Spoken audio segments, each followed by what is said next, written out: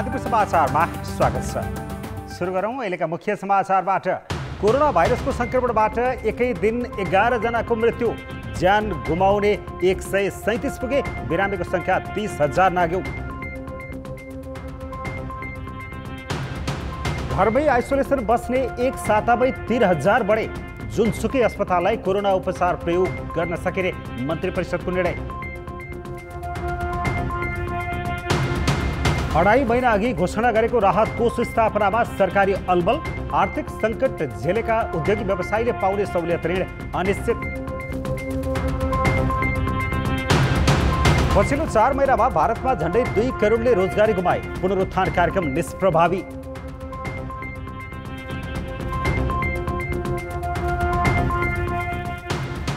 र युरोपा लिगको उपाधिका लागि भिडन्त आज इन्टर मिलान र सेभिया आम्ने सामने।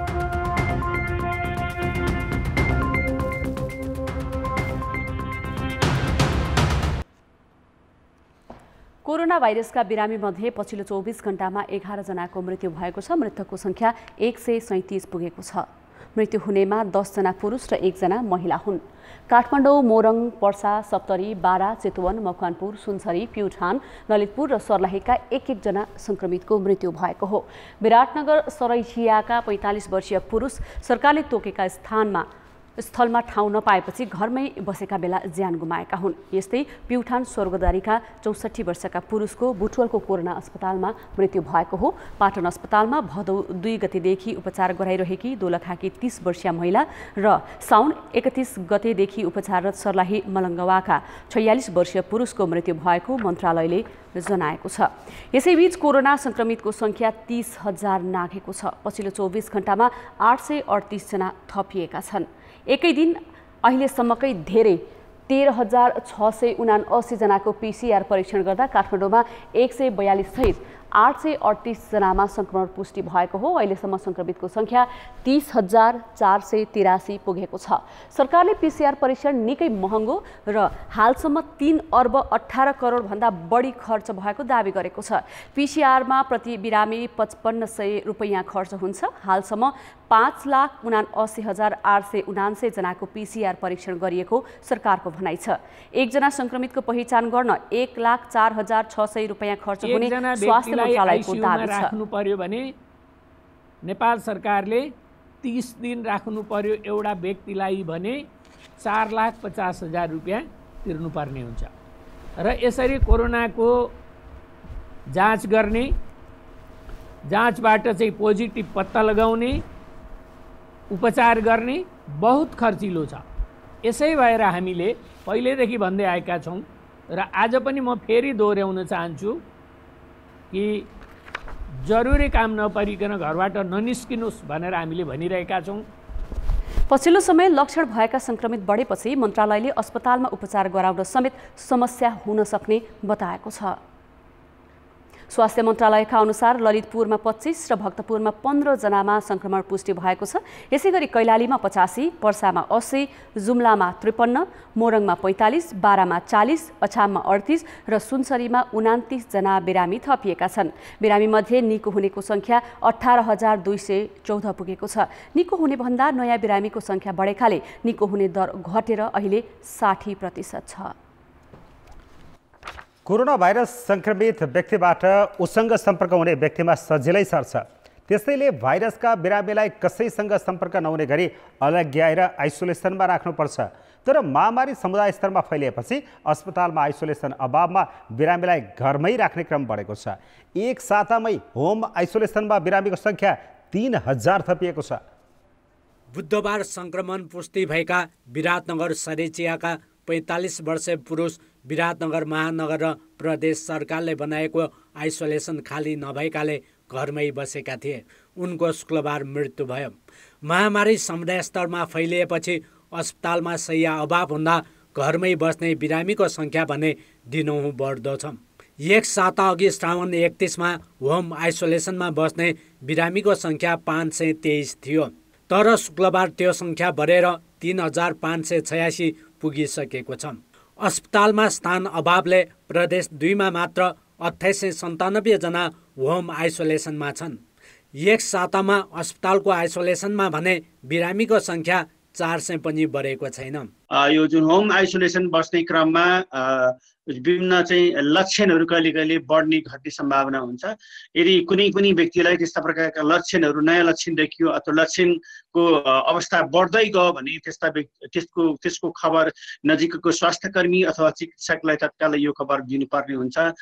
जसले गर्दाखेरि भोलि अस्पताल भर्ना गर्नुपर्ने अवस्थामा उहाँलाई चाहिँ तत्कालै रेस्पोन्स गर्न सकियोस्। कोरोना भाइरस सङ्क्रमित व्यक्तिको थुकको छिताबाट सर्छ।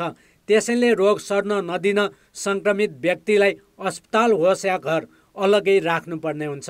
भाइरसका बिरामीले प्रयोग गर्ने भाँडाकुँडादेखि बाथरुम समेत अरूले प्रयोग गर्नु हुँदैन। त्यही कारण सङ्क्रमितका लागि कसैसँग पनि सम्पर्क नहुने आइसोलेसन चाहिएको हो। तर आइसोलेसन व्यवस्थापन गर्न तिनै तहका सरकार चुकेका छन्। जनस्वास्थ्य मापदण्ड राम्ररी निभाएन भने यो जनडेन्जर हुन्छ।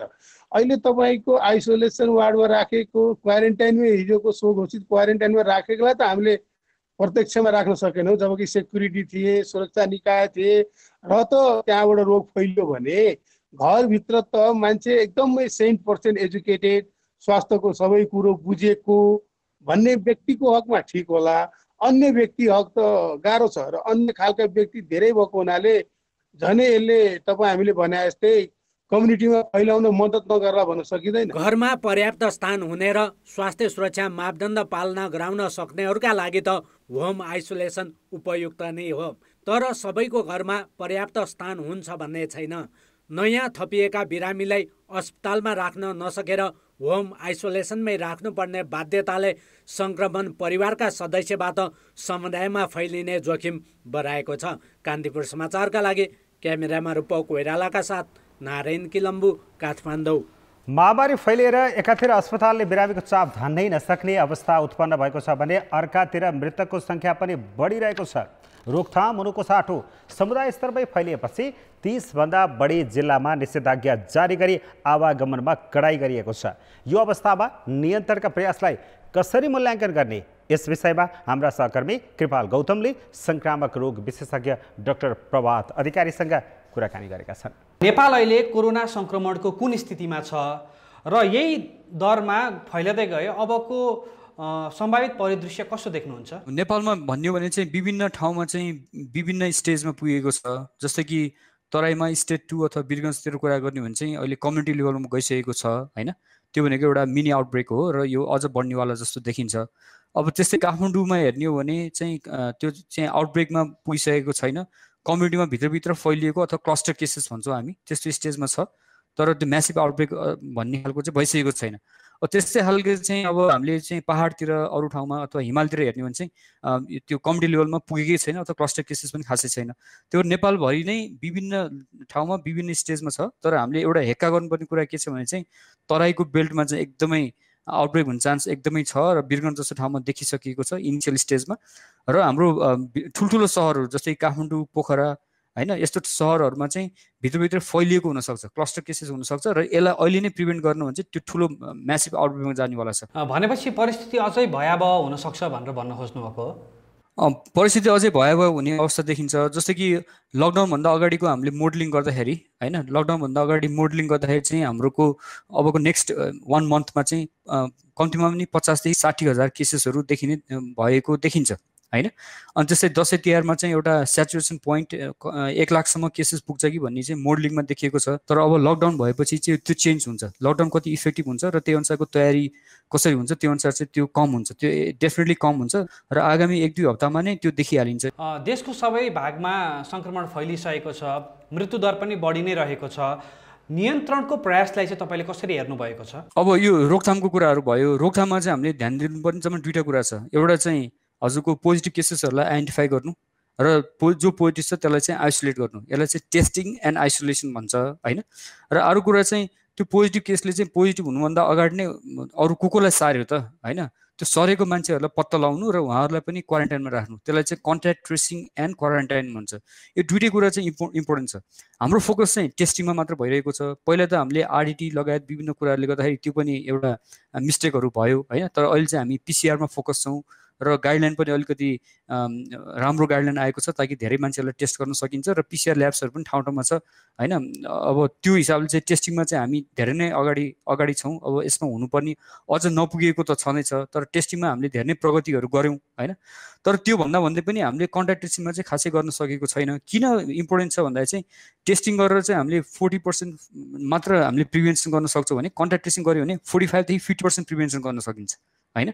अब हामीले चाहिँ कन्ट्याक्ट ट्रेसिङ गरेन भने त्यो फिफ्टी पर्सेन्ट केसेसहरूले त होइन त्यो स्प्रेड गरेर हुन्छ त्यही भएर चाहिँ कन्ट्याक्ट ट्रेसिङ राम्रोसँग नगरेसम्म चाहिँ यसलाई रोकथाम गर्नै सकिन्न। सङ्क्रमण नफैलियोस् भनेर लकडाउन गरिएको थियो।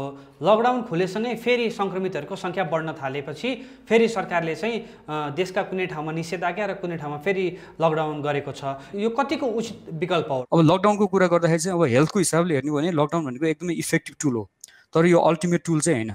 यो यसलाई चाहिँ अब साथीहरूले कसरी इक्जाम्पल दिनुहुन्छ भने जस्तो कि बाढी आइरहेको छ भने तपाईँले सुरुमा त्यहाँ बाँध लगाउनु भयो भने त्यो पानी एकै तुरुन्त त तपाईँको गाउँमा पस्दैन।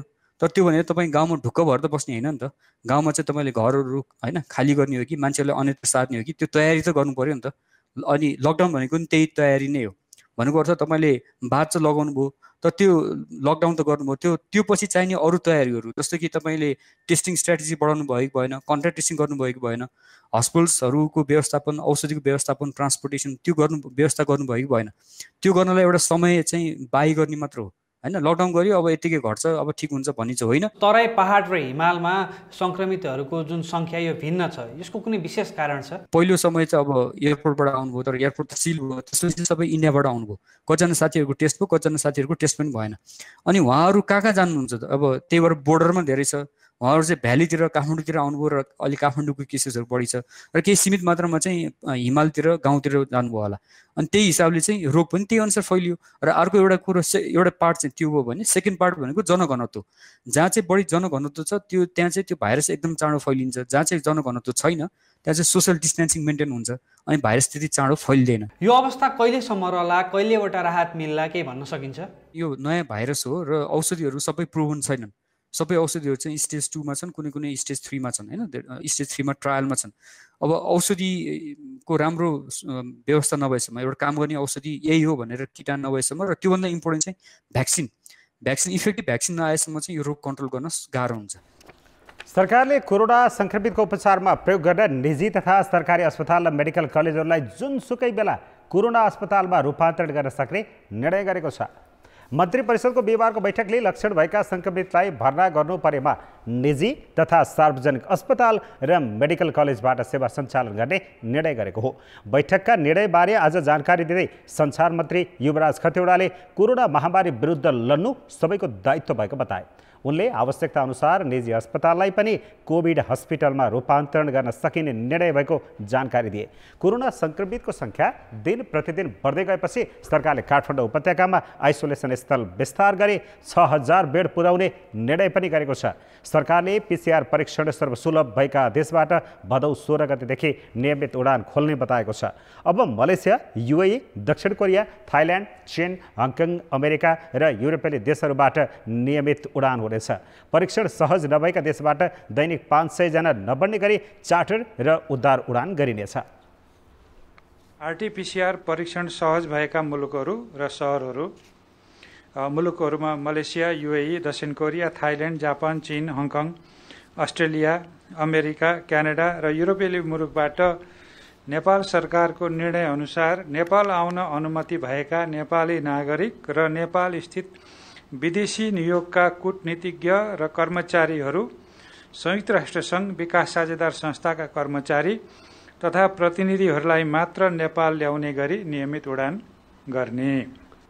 यसरी आउने सबै यात्रुले सात दिनसम्म होटल बुकिङको विवरण पर्यटन मन्त्रालय र सिसिएमसीमा पेजमा बुझाउनु पर्नेछ।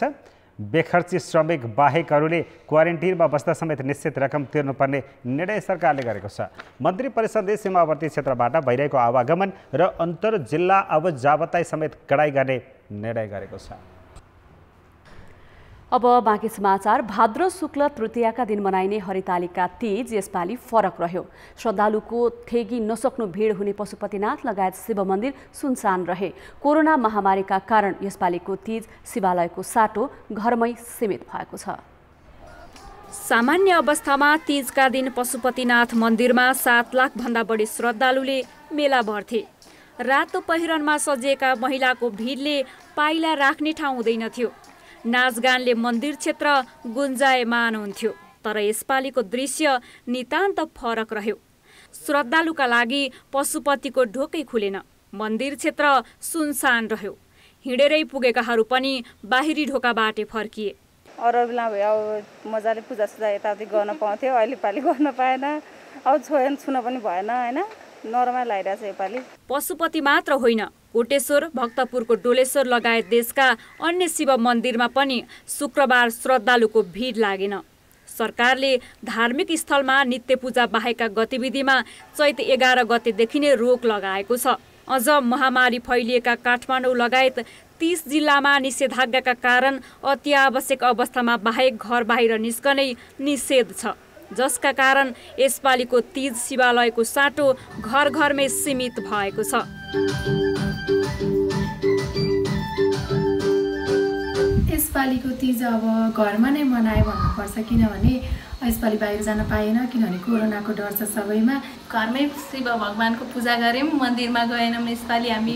हिमालय पुत्री पार्वतीले व्रत बसेर महादेव पति पाएको किंवदन्ती रहेकाले हिन्दू महिलाले हरेक भाद्र शुक्ल तृतीयका दिन व्रत बसेर तीज मनाउँछन्। व्रत बसेर शिव भगवानको पूजा आराधना गर्नाले मनोकामना पुरा हुने विश्वास छ। त्यही विश्वासमा विवाहित छोरी चेलीलाई माइत बोलाएर तीज मनाउने चलन रहेकामा यसपालि महामारी र निषेधाज्ञाले त्यस्तो जमघट पनि सम्भव भएन।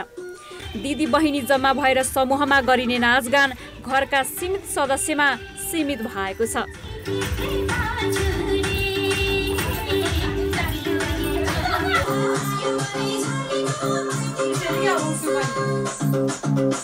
कोरोनाले गर्दा हामी कहीँ जान नि पाएनौँ। हामी कसैको निम्तो नाम्तामा नि गएनौँ। आफ्नै परिवार जम्मा भएर मिठो मसिनो खाएर आफ्नै घरमा रमाइलो गऱ्यौँ। हामीले घरमै बसेर तिज मनायौँ भौतिक दूरी कायम गरेर। अनि ती मन्दिर जान पाइएन तर रमाइलो भइरहेछ दिदीबहिनीसँगै घरमै बसेर हामीले तिज रमाएका छौँ र सरकारको नियम पालना हामीले कायम गरेका छौँ। यसपालिको तिज रमझममय त भएन नै।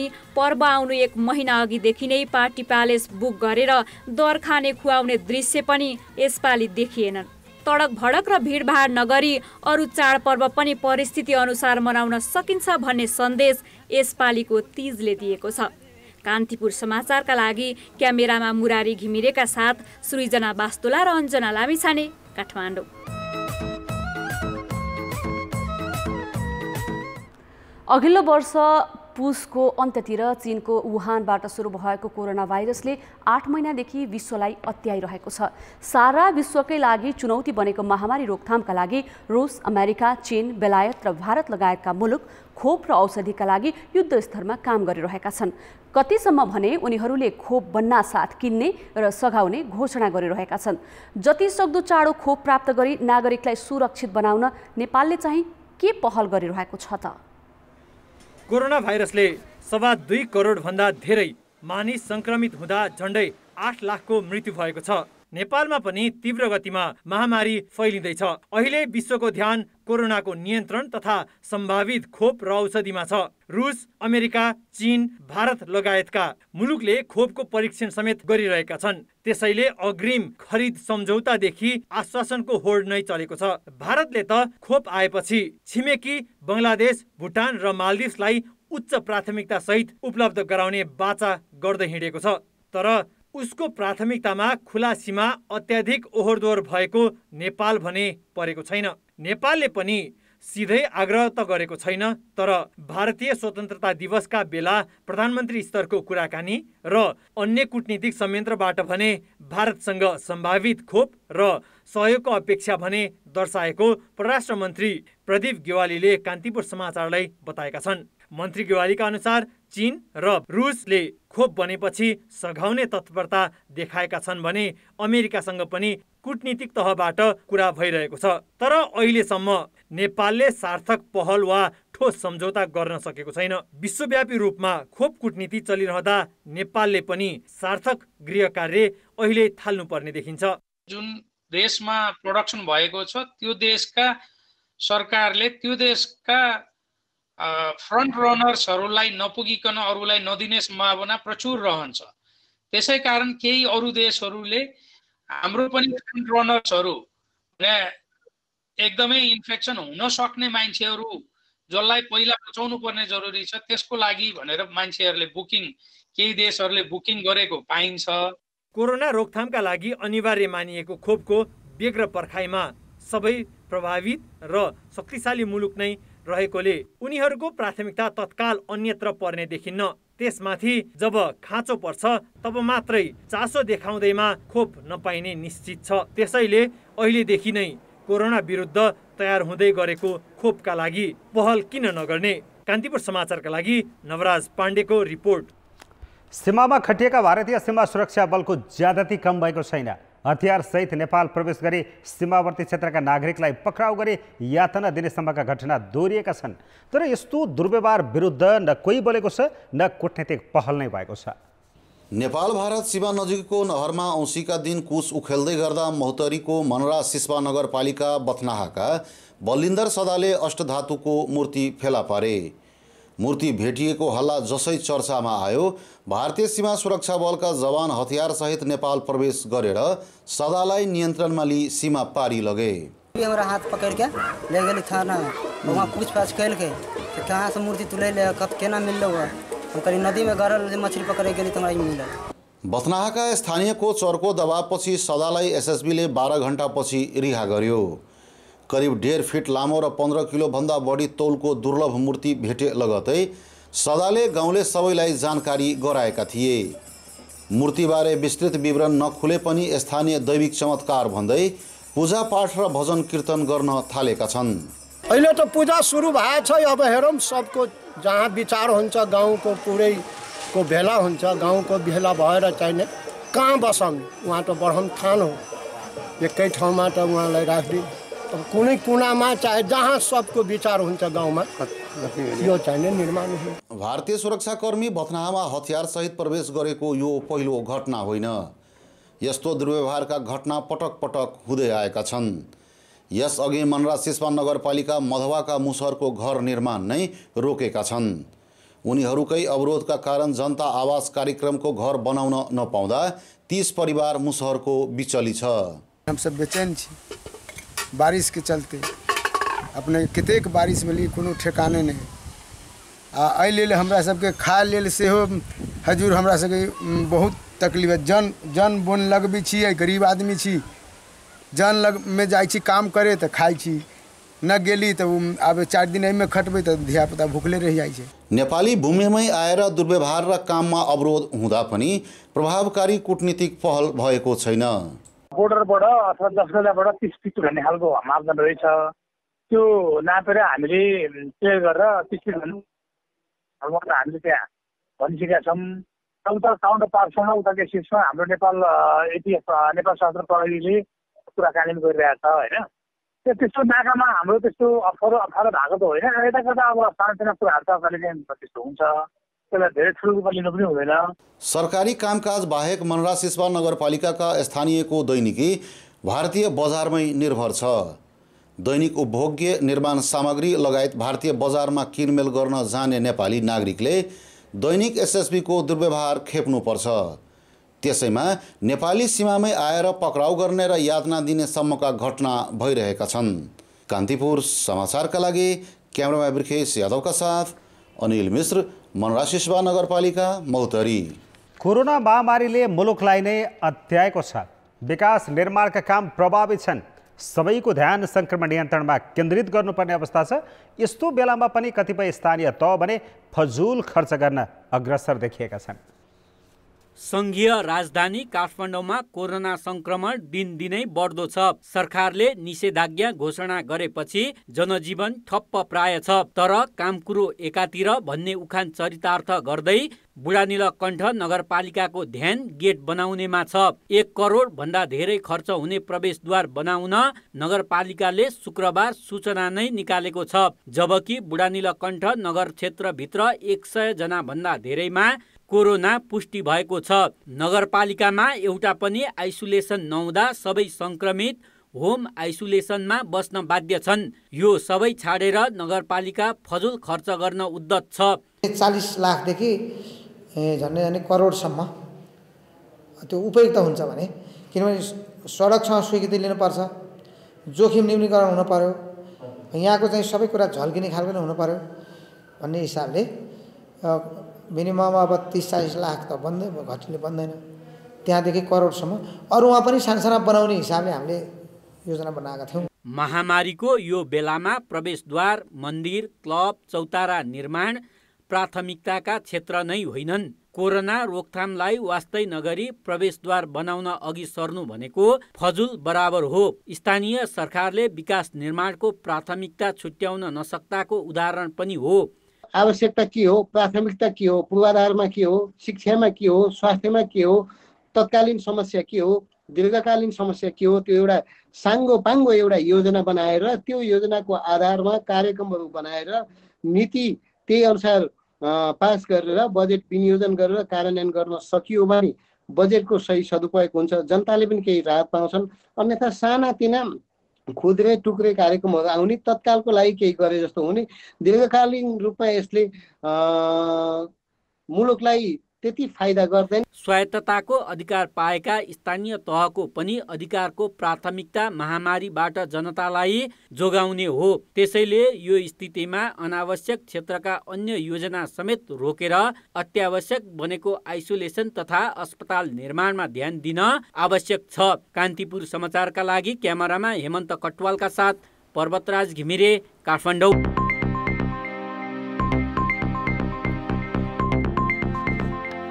कोरोना महामारीले आर्थिक सङ्कट भोगेका उद्योगी व्यवसायलाई श्रमिकको तलब भुक्तानीमा सहजता पुर्याउन भने सरकारले बजेट मार्फत पचास अर्ब रुपियाँको कोष बनाउने घोषणा गरेको थियो। तर अहिलेसम्म कोष स्थापनाको सुर साह्रै छैन। कोषमा राख्ने रकम कहाँबाट जुटाउने भन्ने अन्यल कायम रहेकाले उद्योगी व्यवसायले तत्कालै सहुलियत ब्याज दरमा ऋण पाउने आधार देखिँदैन। महामारी रोकथामका लागि गरिएको चार महिना लामो लकडाउनमा एकसठी प्रतिशत उद्योग धन्दा पूर्ण रूपमा बन्द भए। ती उद्योगले तेइस प्रतिशत श्रमिकलाई आर्थिक भार सहन नसकेपछि निकाले। यस्तै कार्यरत कर्मचारीको पनि अठार दशमलव सात प्रतिशत तलब कटौती गरियो। अडतिस प्रतिशत कर्मचारीले चैत्यता तलब नपाएको श्रमिकहरूका सङ्गठनको अध्ययनले देखाइसकेको छ। महामारीको असरका कारण कर्मचारीलाई तलब दिन नसकेका उद्योगी व्यवसायलाई पाँच प्रतिशत ब्याज दरमा ऋण दिने प्रयोजनका लागि सरकारले बजेट मार्फत नै पचास अर्ब रुपियाँको कोष स्थापना गर्ने घोषणा गरेको थियो। तर त्यो कोष कहिलेबाट सञ्चालन हुन्छ अझै यकिन छैन। अहिलेसम्म कोष सञ्चालनका लागि आवश्यक कार्यविधि नै बनाइएको छैन। जुन कोभिडबाट अति प्रभावित छन् ती क्षेत्रका श्रमिकहरूको पारिश्रमिक भुक्तानी त्यसै गरिकन व्यवसाय सञ्चालनका लागि यो पचास अर्बको कोषबाट पाँच प्रतिशत ब्याज दरमा ऋण उपलब्ध गराउने भन्ने व्यवस्था उल्लेख भएको हो र त्यो व्यवस्था कार्यान्वयनका लागि अहिले समन्वय गर्ने काम भइरहेको छ। विशेष गरिकन यसमा नेपाल राष्ट्र बैङ्कले यो कोषको सञ्चालनका लागि भोलिका दिनहरूमा यसको स्रोत जुटाउने का स्रोत जुटाउनका लागि पनि हामीले कसरी यो कोषको परिचालन गर्ने स्रोत कसरी जुटाउने भन्ने विषयमा एउटा कार्यविधि बनाउने काम अहिले भइरहेको छ। साउन सातपछि लकडाउन खुले पनि उद्योग व्यवसाय राम्ररी चल्न सकेका छैनन्। महामारी समुदाय स्तरमा फैलिएकाले निषेधाज्ञा लगाइएका जिल्लाका उद्योग तथा व्यापार व्यवसाय बन्द छन्। तर व्यवसाय चलाउन नपाएकाले आर्थिक सङ्कटमा परेका उद्योगी व्यवसायलाई राहत स्वरूप सहुलियतपूर्ण ब्याज दरमा ऋण दिन स्थापना गर्ने भनेको पचास अर्बको कोषका लागि सरकारले बल्ल एक अर्ब रुपियाँ छुट्याएको छ। बाँकी रकम कहाँबाट जुटाउने अत्तो पत्तो छैन। स्रोत सुनिश्चितता नभएकाले कोष स्थापना अल्पत्र परेको हो। काम भइरहेको देखाउनका लागि राष्ट्र ब्याङ्कले एउटा समिति बनाएको छ जसलाई कार्यविधिको मस्यौदा बनाउने जिम्मा दिएको छ। समिति गठन भइसकेको छ र उक्त समितिले काम गरेर कार्यविधिको मस्यौदा तर्जुमा गर्ने काम भइरहेको छ। यसको प्रक्रिया अगाडि बढिरहेको छ। सम्भवतः केही दिनभित्र नै यसको मस्यौदाले अन्तिम रूप लिने मैले जानकारी प्राप्त गरेको छु। महामारीले थरिएका उद्योगी व्यापारीले ऋणको किस्ता भुक्तानी गर्ने थप समय पाए बाहेक अहिलेसम्म सरकारबाट कुनै राहत पाएका छैनन्। उनीहरूले कोष स्थापनामा सरकारी अलमलले सस्तो ब्याज दरको ऋण पाउँछन् भनेर ठोकुवा गर्ने स्थिति छैन। यसको असर श्रमिकको तलब भुक्तानीमा पर्नेमा पनि दुई मत छैन। कान्तिपुर समाचारका लागि सुदिल पोखरेल काठमाडौँ। कोरोना महामारीले अबको चार महिनामा बेरोजगारी दोब्बर बन्ने एउटा अन्तर्राष्ट्रिय अध्ययनले देखाएको छ। एक त देशमा रोजगारीका अवसर गुमिरहेका छन् भने अर्कातिर वैदेशिक रोजगारीमा गएका युवाको स्वदेश फिर्ती पनि बढिरहेको छ। बेरोजगारी न्यूनीकरण गर्ने कार्यक्रमका लागि विभिन्न मन्त्रालय अन्तर्गत करिब पचास अर्ब रुपियाँ छुट्याइए पनि कार्यक्रम कार्यान्वयनको सुरसार भने देखिँदैन। महामारी सुरु हुनु अघिसम्मको आँकडालाई हेर्दा नेपालमा काम गर्न सक्ने उमेरका नौ लाख साठी हजार बेरोजगार छन्। तर महामारीले काम गुमाउनेको सङ्ख्या बढ्दै गएको छ। अन्तर्राष्ट्रिय श्रम सङ्गठन आइआलओ र एसियाली विकास बैङ्क एडिबीले संयुक्त रूपमा गरेको पछिल्लो अध्ययन प्रतिवेदनले आउँदो पुस मध्यसम्म पन्ध्रदेखि चौबिस उमेर समूहका छ दशमलव एक प्रतिशत श्रमिकले काम गुमाउनेछन्। महामारी लम्बिए यो दर अझै बढ्नेछ। प्रतिवेदनलाई आधार मान्ने हो भने निर्माण क्षेत्रमा सबैभन्दा धेरै एक्काइस दशमलव सात प्रतिशतले रोजगारी गुमाउनेछन्। कृषि व्यापार होटल रेस्टुराँमा पनि रोजगार थप गुम्नेछ। प्रतिवेदनमा महामारीले रोजगार गुमाउनेको पहिलो नम्बरमा पन्ध्रदेखि चौबिस वर्षका युवालाई राखेको छ। राष्ट्र बैङ्कले लकडाउन अवधिमा गरेको अध्ययन अनुसार तेइस प्रतिशत श्रमिकले रोजगार गुमाएका छन्। बेरोजगार युवालाई काम दिन बजेट छुट्याइए पनि सरकारसँग ठोस योजना छैन। श्रम उद्योग कृषि भूमि युवा ऊर्जा लगायतका विभिन्न मन्त्रालय अन्तर्गत रोजगारी र उद्यमशीलता प्रवर्धनका लागि करिब पचास अर्ब रुपियाँ बजेट छ तर कार्यक्रम कसरी अगाडि बढाउने भन्नेमा विभागीय मन्त्रालय आफै अन्यलमा छन्। सरकारले नीति रणनीतिहरूमा थप परिमार्जन गर्नुपर्ने हुनसक्छ गर्नेछ किनकि अब यो हिजोको जस्तो हामीले बजेट जस्तै बजेट कार्यक्रममा घोषणा गरेको भन्दा पनि अब स्थिति अझ यो के अरे आर्थिक सङ्कुचनमा जाँदाखेरि निश्चित रूपमा हामीले विगतमा घोषणा गरेका नीतिले भोलिका आउने चुनौतीहरूलाई पार लगाउन नसक्ने नै देखिएको छ। तसर्थ अब यसमा हामीले नीतिगत परिमार्जनहरूको पनि प्रस्तावहरू गर्नेछौँ। देशभित्र रोजगारी एकपछि अर्को गरी कटौती भइरहेका बेला वैदेशिक रोजगारमा रहेका युवा पनि धमाधम स्वदेश फर्किरहेका छन्। भारतबाट स्वदेश फर्किएकाहरू भने जीविकोपार्जनको सम्भावना नदेखेपछि जोखिमकै बीच फेरि उतै जान थालिसकेका छन्। यसले देश विकासका लागि पुँजी बन्न सक्ने युवा शक्तिको प्रयोगमा सरकारको योजना शून्यता प्रष्ट पार्छ। यसले भयावह रूप लिने भएको हुनाले हामीले चाहिँ यही असोजदेखि नै हामीले यो कार्यक्रमहरूलाई अगाडि लिएर जानुपर्छ र अब भनौँ न सरकारले पनि हेर्नु पर्यो कि कम्तीमा पनि यो छ महिनाको खर्च यति यो एरियाहरूमा पचास प्रतिशत हुनैपर्छ भन्ने किसिमको एउटा आफैले आफैलाई एउटा अनुशासनमा राख्नु पर्यो। बजेट हालिएको छ कार्यान्वयन भएको छैन। त्यस कारण यसलाई कार्यान्वयनको पक्षमा अगाडि लिएर जाने र यसपालि चाहिँ यस्ता कार्यक्रमहरूमा बजेट पुगेन भने चाहिँ अन्य क्षेत्रबाट ल्याएर भए पनि थप्नुपर्ने आवश्यकता छ। उद्यमशीलता प्रवर्धनका कार्यक्रम नल्याउने हो भने त्यसले भयावह स्थिति नआउला भन्न सकिन्न। त्यसैले मन्त्रालय नै पछि कनिका छरे जसरी अलग अलग कार्यक्रम सञ्चालन गरी झारा टार्ने भन्दा समस्या समाधान गर्ने ठोस कार्यक्रम अहिलेको आवश्यकता हो। कान्तिपुर समाचारका लागि बाबुराम तिमिल सिन्हा काठमाडौँ। बाँकी समाचार। चालक भन्ने बित्तिकै सामान्यतया पुरुष भन्ने बुझिन्छ। अझ डोजर एक्साभेटर क्रेन जस्ता हेभी साधन चलाउनेहरू महिला होलान् भनेर त कमैले सोध्छन्। तर बर्खाको यो समयमा पनि दैनिक जसो खस्ने पहिरो हटाउन रसुवागढी सडक खण्डमा खटिएकी छन् मुना घिमिरे। हेभी इक्विपमेन्ट चलाउने उनी नेपालकै पहिलो महिला हुन्। रसुवाको स्याफ्रो बेसी सडक खण्डमा पहिरो पन्साउँदै गरेको एक्सकाभेटरकी चालक मुना घिमिरे हुन्। चीनसँगको अन्तर्राष्ट्रिय नाका जोड्ने यो रसुवागढी सडक खण्डमा तारन तार पहिरो जाने ठुल्ठुला भिड छन् भने तल उर्लिएको भोटेकोसी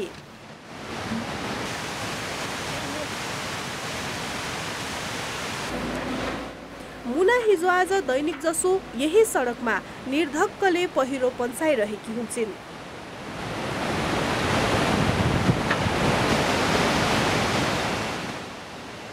अहिले उनी सडक विभागकी जागिरी हुन्।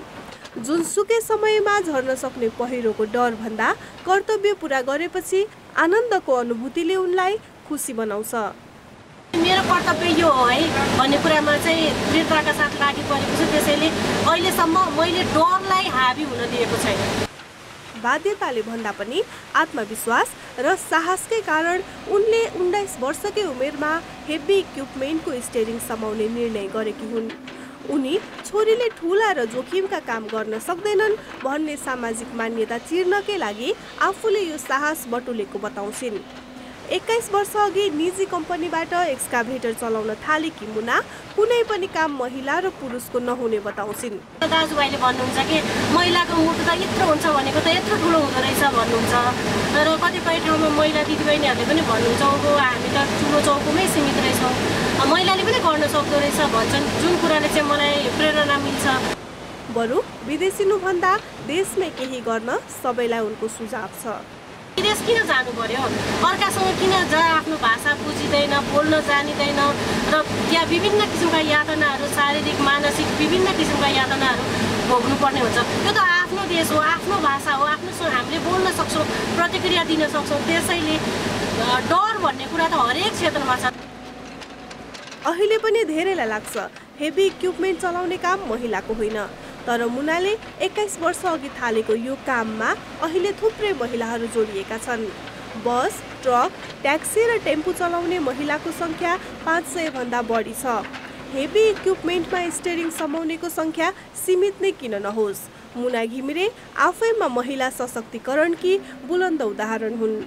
कान्तिपुर समाचारका लागि रसुवा सहकर्मी बलराम घिम्रेका साथ सृजना बास्तोला काठमाडौँ। अब जनमतको अन्तिम परिणाम। जनमतमा हिजो हाम्रो प्रश्न थियो राजनैतिक दल र संवैधानिक निकायको नेतृत्वमा महिला उपस्थिति किन नदेखिएको होला? ए पुरुष प्रधान मानसिकता। बी नीतिगत कमजोरी। र सी महिला अग्रसरताकै कमी। जनमतको नतिजा यस्तो छ।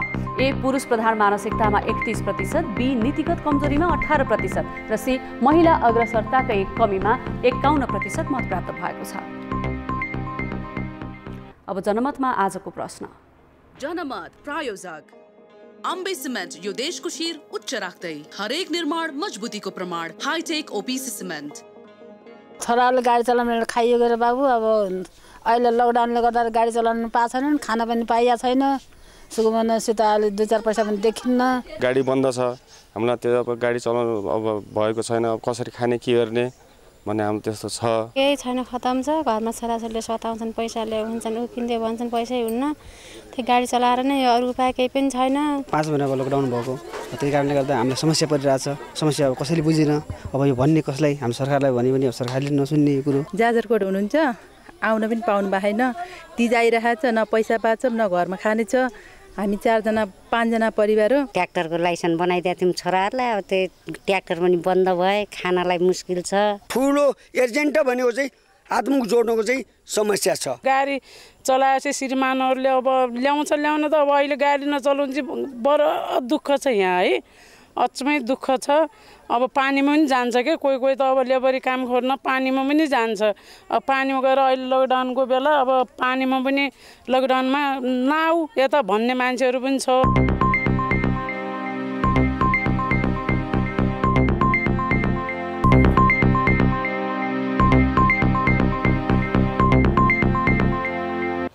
नमस्कार कान्तिपुर खेलकुद समाचारमा स्वागत छ।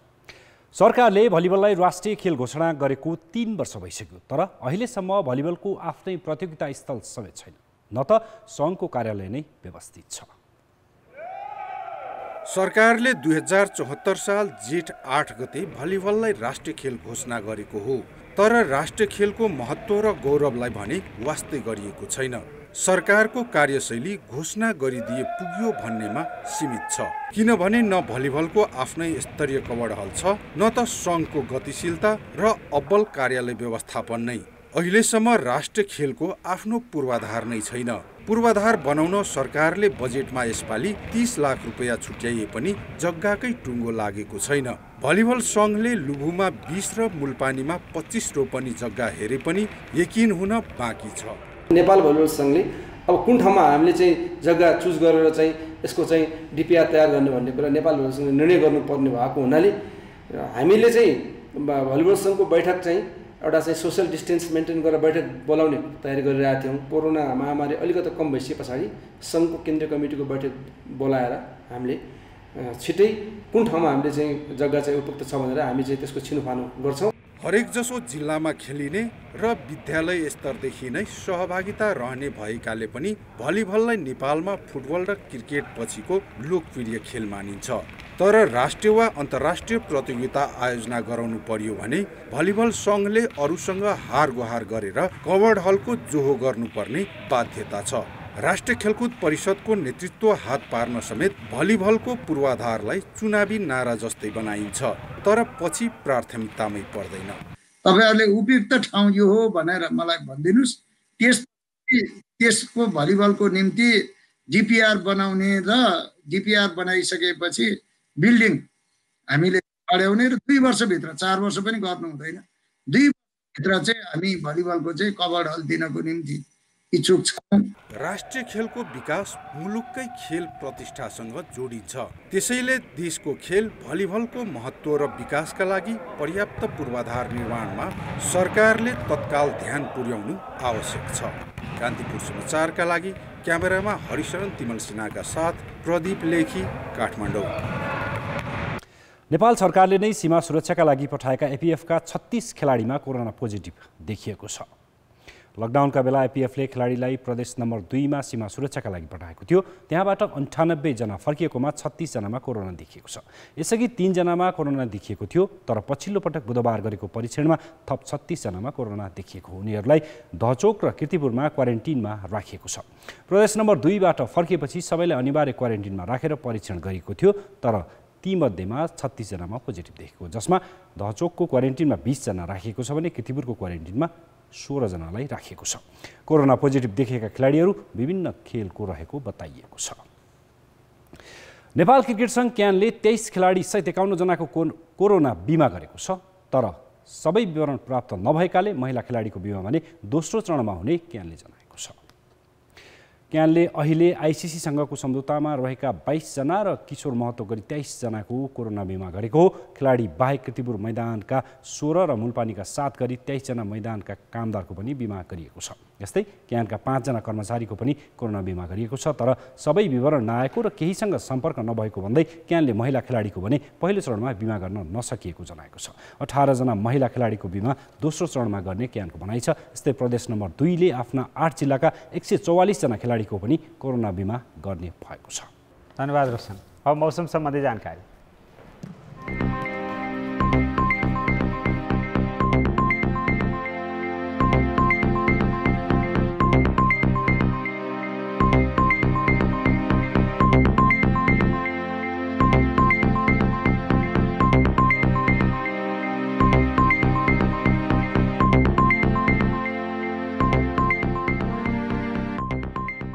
कान्तिपुर समाचार अहिलेलाई सक्यो। अब हाम्रो अर्को समाचार बुलेटिन राति साढे दस बजे अङ्ग्रेजी भाषामा र राति एघार बजे नेपालीमा हुनेछ। कान्तिपुर टेलिभिजन हेर्दै गर्नुहोला। नमस्ते।